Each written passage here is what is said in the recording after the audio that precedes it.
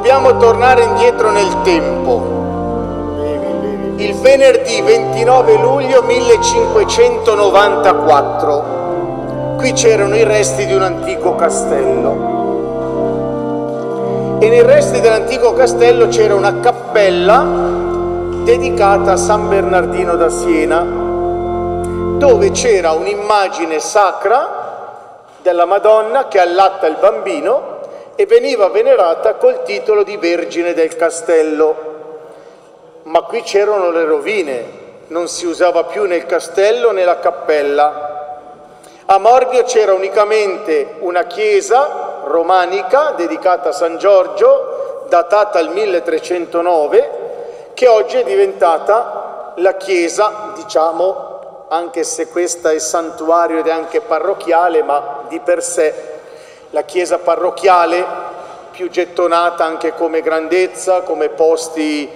auto, piazzale, eccetera, eccetera, è la chiesa che una volta era fuori dal piccolo nucleo di Morbio, adesso è quasi al centro, dove tra l'altro c'è anche tutto il centro scolastico elementari e scuole medie.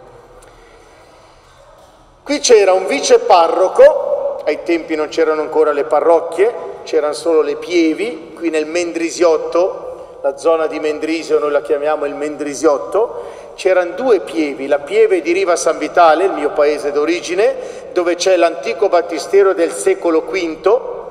praticamente le radici cristiane sono partite per la Svizzera da Riva San Vitale, e a Balerna l'altro battistero, a Riva è dedicato a San Giovanni Battista, a Balerna la Madonna delle Grazie, dove avvenivano i battesimi. Allora qui c'era un vice parroco, si chiamava Don Gaspare dei Barberini ed era conosciuto come un noto esorcista. Solo che in quel 29 luglio, la memoria di Santa Marta, oggi Papa Francesco ha aggiunto anche Maria di Betagna e Lazzaro, si è recato qui nella vicina Italia a Cernobbio, dove ancora oggi ci sono due chiese, quella vicino al lago, dentro contiene un altare laterale dedicato alla Santa Marta, una delle sorelle di Betagna. È andato, come ancora oggi ci si invita tra confratelli, a predicare, a celebrare, a pranzare, a, la, a vivere la processione, eccetera, eccetera. Giungono queste due madri da Milano con le loro bimbe, Caterina di 10 e Angela di 7, e il parroco non c'era. Vengono accolte dalle donne di Morbio, un po' in giro per i campi, un po' in giro per le faccende domestiche, un po' chi che guarda da una parte e guarda dall'altra, si sono accorte che sono arrivate delle persone forestiere, cioè non del paese. E allora subito si cingono un po' per curiosità, un po' per accoglienza, eh, da dove venite, cosa fate, come mai siete qui, e spiegano loro. Siamo qui perché le nostre due bambine sono molto malate e hanno bisogno di un intervento, di una benedizione particolare. Abbiamo saputo che qui avete un prete straordinario, conosciuto come esorcista. Dice sì, ma oggi è assente perché è a Cernobbio per la festa di Santa Marta. A un certo momento, dopo l'accoglienza, come dice, dicono i documenti storici, apro e chiudo la parentesi, i documenti storici originali sono conservati nella diocesi di Como, perché a quel tempo appartenevamo alla diocesi di Como, e la coppia è conservata qui negli archivi della parrocchia di Morbio. Una volta accolte nelle loro case, offrono una focaccia, una ciotola di latte, come dicono i documenti storici, riposano e a un certo momento le bambine si agitano al punto da far spaventare le donne del paese e chiedono alle madri ma cosa succede? E le madri dicono succede ogni qualvolta nei dintorni c'è una chiesa, una cappella, un'immagine sacra. E le donne dicono la chiesa è giù in fondo al paese, però qui in cima c'è una vecchia cappella con l'immagine della Madonna del Latte che noi veneriamo col titolo Vergine del Castello, ma è tanto tempo che non vi saliamo, però andiamo a vedere. Salgono, scoprono tra i rovi e ruderi quell'immagine sacra che ancora vedete alla vostra sinistra, è ancora l'immagine affrescata sul muro del vecchio castello, rinnovata più volte, l'ultimo restauro è stato fatto nell'inverno della pandemia, quindi appena appena ritoccato, e la Madonna appare. Quello che brevemente vi racconto lo potete vedere qui alle mie spalle sulla vetrata. Vedete? La Madonna col bambino Gesù, in cima alla scala la giovane Caterina, quella di dieci anni, in basso sdraiata Angela di sette, e poi lì è già venuto il miracolo, la guarigione, e accorrono, tornerà poi il viceparroco, il maestro del paese alcuni uomini che erano fuori in campagna con le donne che avevano fatto praticamente l'accoglienza. Maria appare, Maria conforta, Maria guarisce. Poi parla Caterina, spiega i misteri del rosario, l'importanza della preghiera, la conversione. Ma quello che è bello di Morbio, e a me piace riassumerlo, è che la Madonna in un italiano di quel tempo dice a Caterina fate refare questo luogo perché qui vi si torni a celebrarvi messa. Insomma, la Madonna ci porta a Cristo, ci porta all'essenziale della nostra vita e della nostra esistenza, l'Eucarestia, incontrare Cristo nel pane e nel vino, nella parola, nei sacramenti. Il messaggio di Morbio a me piace riassumerlo è proprio un po' come le nozze in Cana di Galilea. Maria che dice ai servi, qui a Morbio ha detto a Caterina e Angela, fate quello che lui vi dirà. Fate la volontà di Dio, ma costruite un altare perché qui si possa ancora incontrare Cristo nell'Eucarestia. La Madonna dei miracoli ci porta a Cristo e questo è il messaggio più bello più evangelico che la Madonna può dare a ciascuno di noi. Alla sera il parroco Don Gaspare ritorna, il viceparroco, propone una processione nell'antica chiesa di San Giorgio. A lode e ringraziamento al Signore per il dono che Maria ha operato in questa comunità, in questo luogo e soprattutto le due bimbe milanesi, che dopo un po' di giorni accolte qui a Morbio e poi altre tappe come di andata e di ritorno da amici e conoscenti, ritornano poi per la loro strada a Milano, ma otto giorni dopo le donne di Morbio con il maestro, con il viceparroco, scendono nella curia di Como come testimoni oculari per redigere tutto quanto hanno visto, hanno sentito, hanno constatato. Il 29 luglio del 1595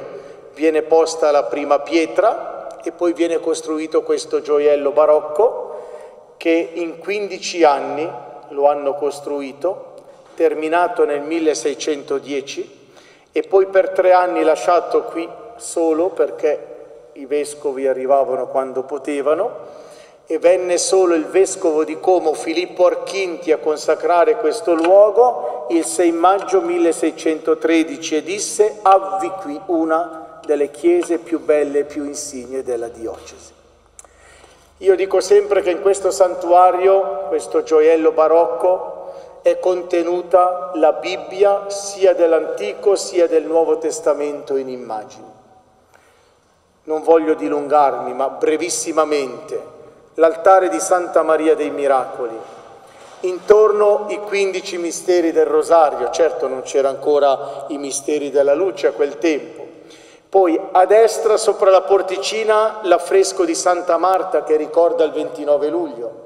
a sinistra l'affresco di San Bernardino da Siena che ricorda la dedicazione della cappella del vecchio castello, in alto verso l'uscita vedete l'Immacolata, verso l'altare eh, le due tele rettangolari, eh, dopo lo potete vedere quando salutate la Madonna, c'è San Domenico con la Vergine Maria. San Domenico è quel santo che oltre che ha fondato i domenicani ha propagandato il rosario. Interessante sotto le due tele quadrate,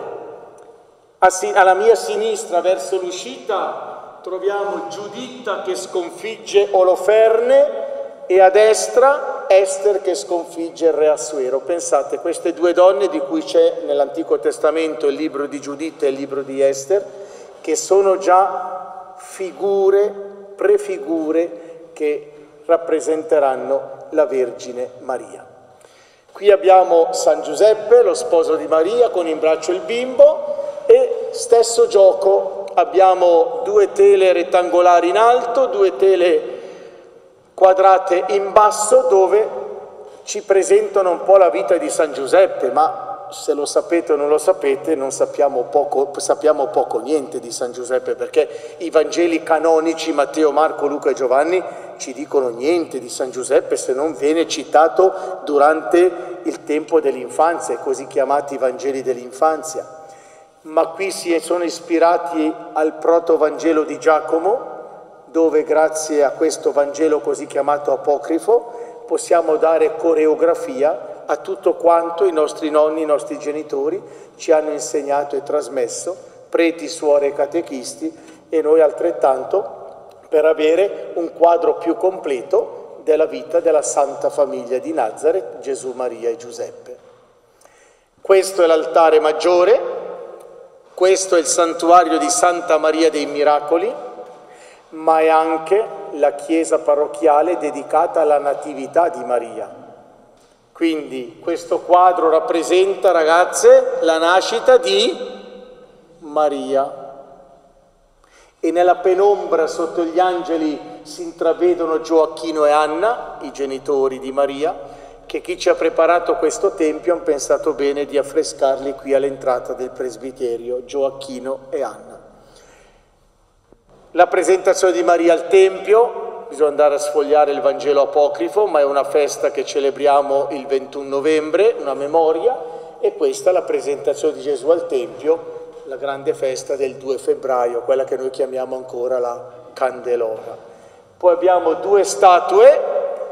San Giorgio alla mia destra, che ricorda la chiesa di San Giorgio, e San Rocco qui alla mia sinistra, che rappresenta quella piccola chiesa qui sotto vicino alla casa anziani e anche la casa anziani dedicata a San Rocco.